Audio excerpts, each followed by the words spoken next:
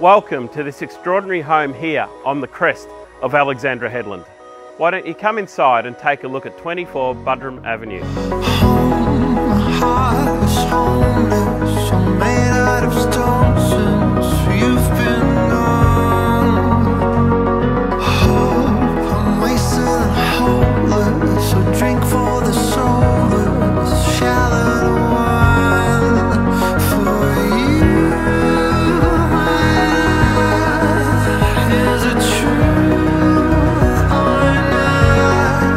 I trust you enjoyed these incredible views of the Sunshine Coast right up to the hinterland. We encourage your inspection to truly appreciate what is on offer.